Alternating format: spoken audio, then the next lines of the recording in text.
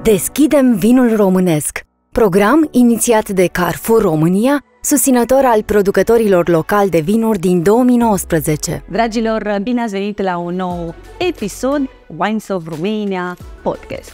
Astăzi am o invitată specială alături de care vom uh, descoperi uh, soiuri, poate mai puțin um, întâlnite, vom descoperi trenduri, dar și ce înseamnă să fii și mamă și antreprenor și o persoană foarte activă în lumea vinului, așa cum este Livia Gârboiu. Livia, bine ai venit la Wines of Romania podcast. Mulțumesc de invitație. Bine v-am găsit. Acest podcast este inspirat de programul național Deschidem Vinul Românesc, dezvoltat de Carrefour România, unde Livia are trei etichete în program. Deocamdată sunt trei etichete, mai vedem ce noutăți pregătește Livia în perioada următoare. Livia, cum e să fii, așa cum am spus mai devreme, cum e să fii întâi de toate și mamă, și antreprenoare, și uh, manager de, de succes într-o lume atât de dinamică, nu neapărat o lume a bărbaților, cât o lume atât de dinamică cum este cea a vinului. Este o provocare, trebuie să recunosc, dar uh, noi femeile cred că avem așa o putere interioară care ne propulsează, ne ajută să facem față cu brio tuturor provocărilor. Sunt mamă de 5 ani de zile, acum uh, cred că a venit și această provocare la o vârstă potrivită aveam deja peste 30 de ani și atunci cumva mm, ești mai copt, mai, uh, cum să spun, mai pregătit pentru o astfel de, de provocare. Trebuie să recunosc că am și o echipă foarte bună și foarte puternică în spate care mă susține și mă ajută în uh, tot proiectul Crama Gărboiu. Singură nu aș fi făcut probabil uh, față. Livia, sunt curioasă să, să ne spui cum te-a influențat pozitiv rolul de mamă în activitatea ta profesională? Descoperi chestii noi. răbdarea, în primul și în primul rând. Cred că știi la ce mă, mă refer. E o etapă pentru mine, am luat-o ca atare, mă descoper în primul rând pe mine, prin prisma copilului, descoper că sunt aptă de multe chestii. Sunt mult mai calmă, mult mai calculată, înainte era mai impulsivă. Vârsta probabil, acum când ai un copil, nu știu, vezi altfel lucrurile, reacționezi altfel. Și cred că tot, uh, toată influența asta undeva m-a ajutat pe mine să evoluez și pe parte profesională. Oare descrierea asta care, care ne-o spui acum se regăsește și în vinul care poartă numele fetei tale?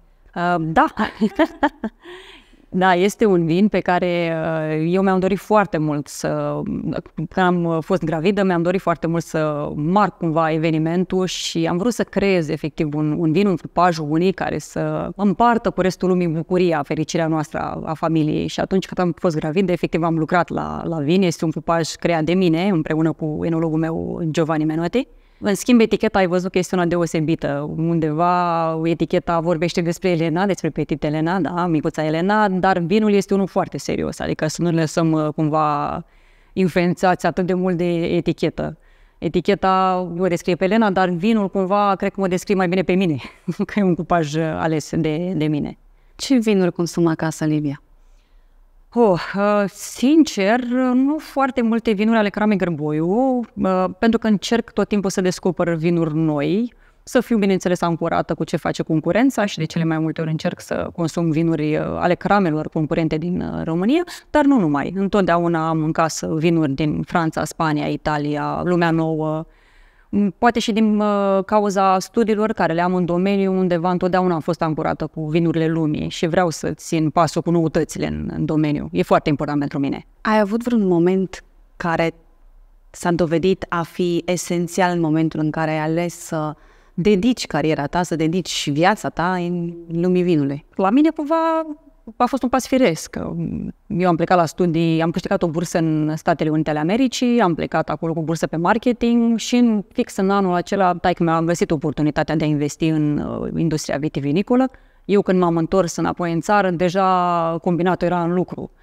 Și a fost firesc să ne ocupăm de afacerea familiei. Oricând când intri în acest domeniu, în acest business, este un business de viitor, în primul și în primul rând, pe termen lung și este un business de familie, adică nu ai cum altfel. Noi suntem implicați cam toți în familie, unchi, nepoți, veri, E un business, de asta este și un drama Gărboiu, știi, familia Gărboiu, da. Familia implicată întru totul, nu doar soț, soție și copii, ci... Da, e altfel. E un domeniu destul de solicitant, este complex, uh, avem de-a face, bineînțeles, și cu agricultură. În general, ai văzut că unele crame sunt divizate, ori nu mai produc, ori au numai agricultură. Noi, la Crama Gărboiu, avem un business de la A la Z și atunci avem nevoie de sprijinul întregii familii și nu numai. Care crezi că este succesul reușit atunci când vine vorba de un business de succes în lumea vinului? Asta vreau să spun, nu cred că ține doar de lumea vinului în general, cred că chiar succesul este seriozitatea. Și mai ales în vin, cred că e important să ai un plan pe termen scurt, mediu și mai ales lung. Și cel lung cred că este cel mai important în vin. Trebuie să stabilești foarte clar unde vrei să ajungi. Noi cred că am știut de la început, adică de când am început business noi am știut că vrem să ajungem undeva anume. Bineînțeles, strategia pe termen scurt tu modifici în funcție de, ai văzut și tu, economie, pandemie, întotdeauna există o situație aparte și niciun an nu se aseamănă cu, cu altul. Dar important este să fii serios, să fii onest, să faci lucruri bune, să fii ambițios și să, nu știu, lași ceva în urma ta, nu până la urmă, cred că despre asta este vorba. Anul viitor împliniți 20 uh, de ani cu, Cram. cu Crama. Nu să te întreb ce pregătiți pentru anul viitor, dar uh, vreau să te provoc uh, să ne spui uh, cum au fost acești, cum ai descrie acești 20 de ani și totodată, având în vedere că spuneai de un plan pe termen lung, cum vezi Crama Grăboie peste 20 de ani? A, păi o să încep prima oară cu trecutul, prezentul și uh, trecem și la, la viitor. Uh, e un business foarte greu, este un business foarte greu. Deci noi avem prieteni care um, au intrat recent în industrie sau care își doresc să intre și noi le-am dat sfatul să nu facă pasul ăsta. Trebuie să fii foarte pregătit în toate punctele de vedere, mai ales financiar. Deci nu degeaba se spune că trebuie o mică avere când intri în industria vinului și așa este este un business care are nevoie de o susținere financiară foarte mare și nu un an, doi. Deci să ne înțelegem minim 5, dacă nu chiar 10. Dacă mă întreb pe mine, chiar mai bine de, de 10 ani. Nou, la un moment dat ne-a zis Philip Cox, da, care este un prieten de la Cramele Recaș și da, eram într-un moment disperat, acum, nu știu, 5 ani, 7 ani și ne-a zis, domnule, calm, calm, o să vedeți când după 15 ani lucrurile încep să meargă. Și așa este. Deci ai nevoie în România, unde nu ai o susținere da, din partea țării, a guvernului, a statului, ai nevoie de perioadă îndelungată de, de implicare. Și atunci trebuie să te încarci cu foarte multă răbdare, muncă, să nu aștepți rezultatele imediate, să vezi pe termen lung, că de asta ziceam că e nevoie de, de o viziune pe, pe termen lung. Prezentul este bun pentru noi, ne găsește într-o situație financiară bună, am ajuns, nu pot să zic că am, suntem într-o perioadă de stagnare, suntem tot în creștere, dar undeva ne-am găsit noi poziția. În primul rând, față de noi, față de ce ne-am propus noi, Crama Gărboiu, și cred că ne-am găsit puțin locul și în piață, în piața din România, în primul și în primul rând și aspirăm către export, bineînțeles, că cred că asta este ultima, următoarea provocare pentru, pentru noi. Pe viitor, nu mi-am propus să, vorbeam și cu tatăl meu, fondatorul de altfel, nu mi-am propus să creștem capacitate, nu vreau să ne mărim, nu știu, suprafața de viță cu vie, în schimb mi-aș dori să lucrăm și mai mult uh, la imaginea cramei, la sedimentarea brandurilor uh, pe care le comercializăm și să lucrăm mai mult pe partea de calitate, bineînțeles. Ne dorim să creștem și mai mult. Vrem ca Vrancea, zona Cotești, Crama Gărboiu să fie un etalon când vine vorba de vinuri de calitate în România. Asta ne-am propus de la început, cu pași uh, mici, dar sigur sper să ajungem să, să reușim. Cât crezi că este de mândru tatăl tău de tine? Nu știu, asta trebuie să spună el. da, nu-mi spune. Păi nu spune este foarte rezervat de punctul ăsta de vedere. Cred, nu știu, că este. N-ar avea de ce să nu fie. Eu m-am implicat din prima zi la, în acest proiect. Îmi este și drag, trebuie să recunosc. Pentru mine, nu știu, nu, nu o văd ca o porvoadă sau ziua de muncă nu este epuizantă, că multă lume mă întreabă, domnule, cum mai poți? Spune, nu știu, vine natural, adică pentru mine să muncesc de la 8 dimineața până la 8-10 seara, e ceva firesc, e ceva, nu știu, normal, nu o văd ca ceva epuizant. Îți imaginezi uh, micuța Helena, Elena, um, ducând mai departe proiectul de familie? Uh, da, nu știu, um, tatăl meu își dorește, bineînțeles, că este totuși un, un business de generații, asta este clar. Eu i-am spus și tatăl meu, cred că important în punctul ăsta este cât de mult se implică el să o atragă pe Elena în, în business. Pentru că eu, eu personal sunt o generație de sacrificiu. Eu o să muncesc și pun bazele acum pentru businessul viitor. Dar ca Elena să poată să prindă drag de business, asta este treaba bunicilor. Nu mai este a mea. E, cred că se aplică și în industrie. Așa o văd eu. Poate greșesc, nu știu. Livia, ați uh, luat uh, cele mai multe medalii de aur uh, la Mundus Vini, la ultima ediție. Așa este. Care este mă, strategia voastră atunci când vine vorba de participarea cu un număr atât de relevant și, evident, și rezultatele sunt, sunt pe măsură? Um, cum fructificați această oportunitate la export, spre exemplu, sau chiar și la nivel național? Nu e o surpriză pentru mine, mă așteptam să luăm uh, un număr mai mare de medalii, pentru că sunt vinuri la care noi deja lucrăm din 2018-2019, adică eu știam ce potențial au vinurile mele care urmau să iasă pe piață în, în perioada asta. Este o surpriză că undeva, știi, când ajungi totuși cu vinul, în fața, cu vinul meu în fața unui juriu, nu ai de unde să știi ce se întâmplă. Știi, prea bine vinul este, nu știu, ține și de moment, de starea ta, de și mai și soiuri autohtone, mai puțin cunoscute că da. Dar totuși uh, când ai un vin bun, un vin foarte bun, un vin excelent, nu ai cum să-l, să-l ratești și să nu-l evaluezi cum, uh, cum trebuie. Mă bucur că um, vinurile noastre au făcut față da, unei, unei jurizări internaționale și au reușit să se impună atât de bine. Contează, n-aș putea să spun că acum din punct de vedere financiar să tripează vânzările. Deci astea sunt mituri. Cum fructificați medaliile obținute la export, spre exemplu, sau la vânzare? Cred că mai degrabă contează la export decât intern, că la export undeva un concurs internațional de prestigiu garantează o calitate Românul totuși este sceptic în România. Știți că încă mai există miturile alea, ai dat, cât ai dat, ă, presupun că ai mai auzit poveștile Din fericire nu și nici nu vreau să le aud, să da, știți că sunt, sunt, sunt. Local noi le auzim, nu există, da, nici nu ai contact cu, știi prea bine cum funcționează concursul internațional, nu ai contact cu nimeni acolo, efectiv un formular, te înscris, ai... Totul este online da. și sunt, spre exemplu, la ultimul concurs de la Mundus Vine am avut peste 7000 de probe și am fost în jur de 200 de jurați o săptămână evaluând vinuri din toată lumea, adică dacă mă întreb pe mine, eu aș vedea o cheia succesului să participăm din România cât mai mulți, cu cât mai multe vinuri și să avem cât mai multe medalii, pentru că atunci cumva este România în față. Faptul că a câștigat Crama Gârvoiu 10 medalii nu zice mare lucru, zice pentru prietenii noștri, cunoscuții noștri, clienții noștri, poate pentru ei contează. Dar tot eu văd o promovare la nivel de țară. Și acum, chiar dacă România a câștigat 70 ceva de medalii, da. la Muzvigi, da? a venit uh, o țară vecină care a luat 90 ceva de medalii, o țară mult mai mică decât noi. Românul încă este sceptic în a participa. Și eu invit pe toți să participe, că nu este un lucru rău. Noi de ce avem mai multe medalii ridică România. Știți ce de țară. Că zici, ziceam de vreme exportul mai mult decât la nivel național și de-abia acum începe să devină un, un obiectiv uh, comun relevant pentru România exportul, că nu a fost până acum și probabil este din păcate. Începe. Da, începe să devină. Uite ce s-a întâmplat la, la, la Provine, adică un număr uh, important cu fonduri private și uh, o mișcare... Surpriză.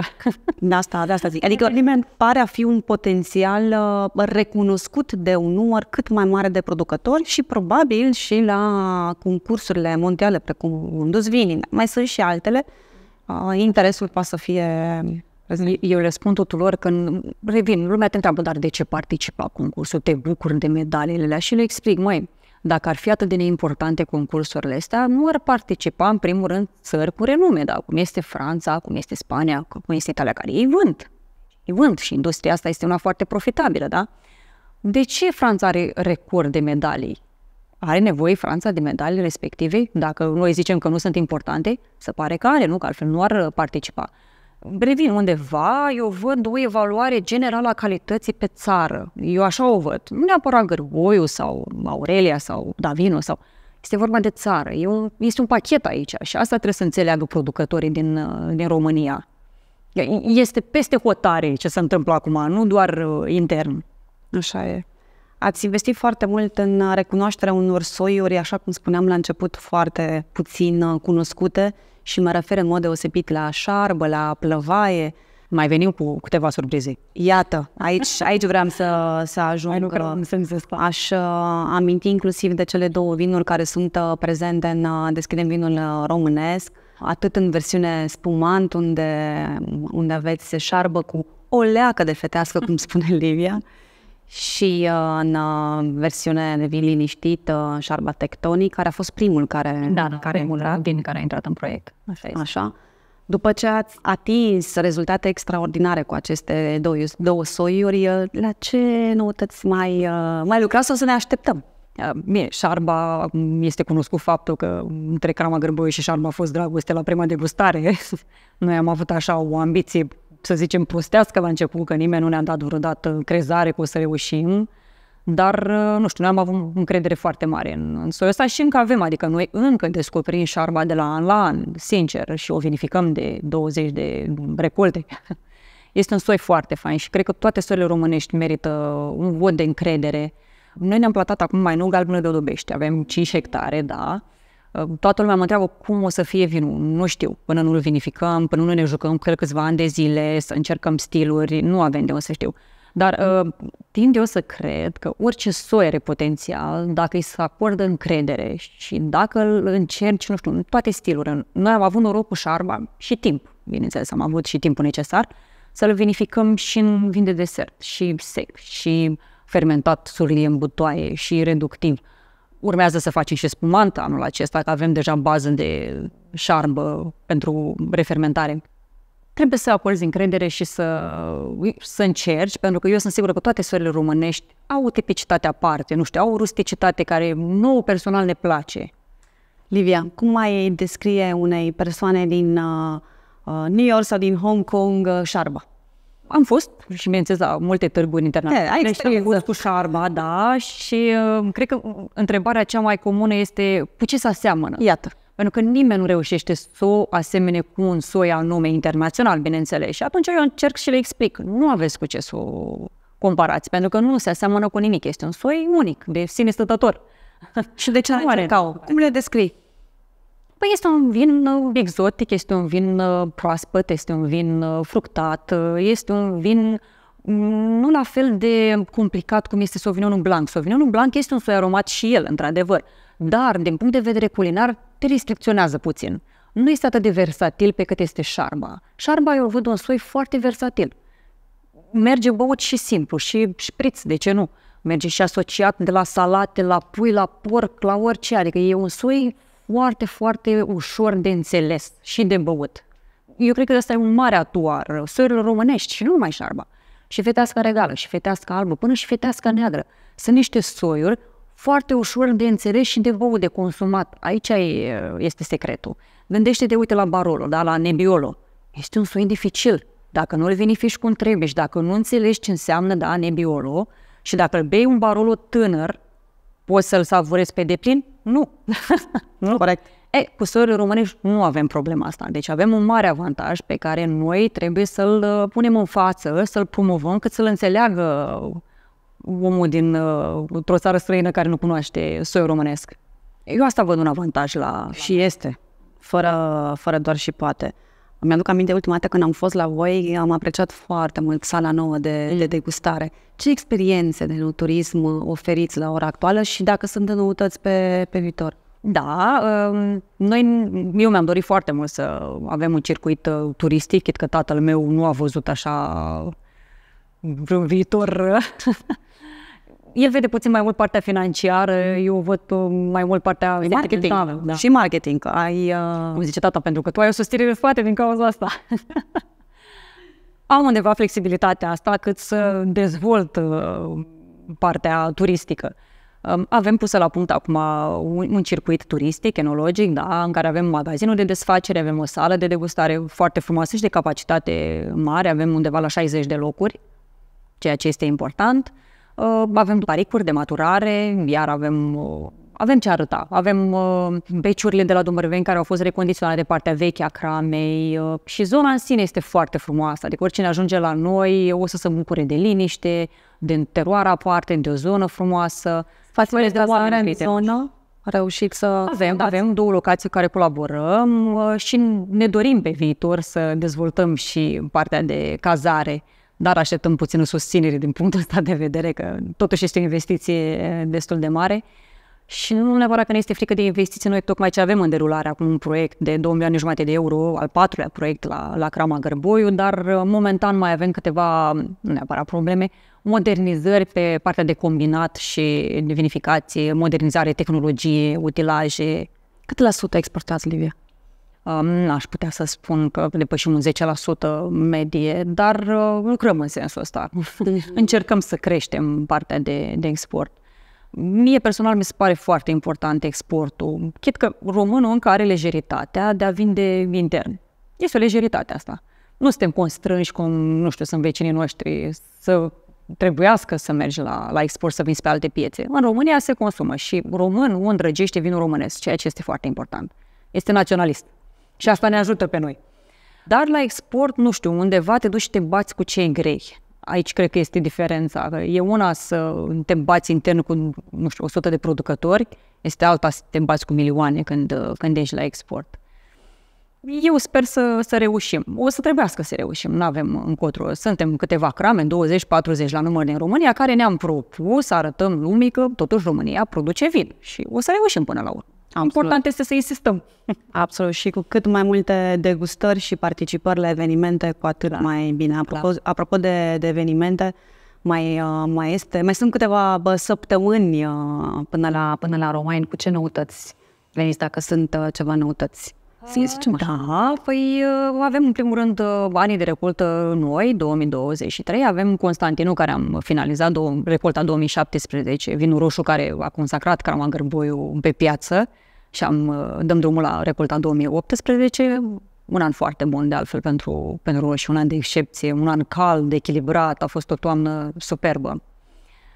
Vă așteptăm la târg să vedeți vinurile. A spus trei vinuri, uh, de fapt trei, patru, dacă luăm în calcul uh, anii de recoltă 2023.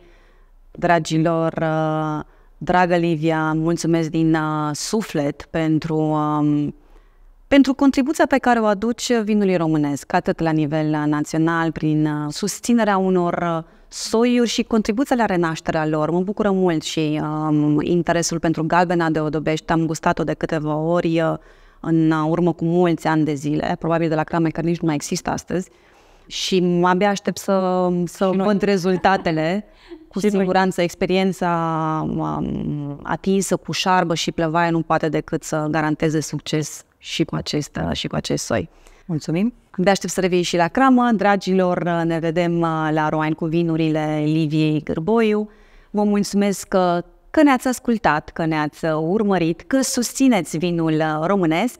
Vă invit să vizitați canalul YouTube Wines of Romania, să vă abonați, să vizitați paginile uh, Cramei Gârboiu, și să mergeți la producători. La evenimente vă așteptăm, la Romain în mod deosebit, dar mergeți și vizitați producătorii, degustați vinurile la cramă și evident, dacă căutați varianta scurtă, Carrefour este o alegere ideală. Vă mulțumesc, pe curând!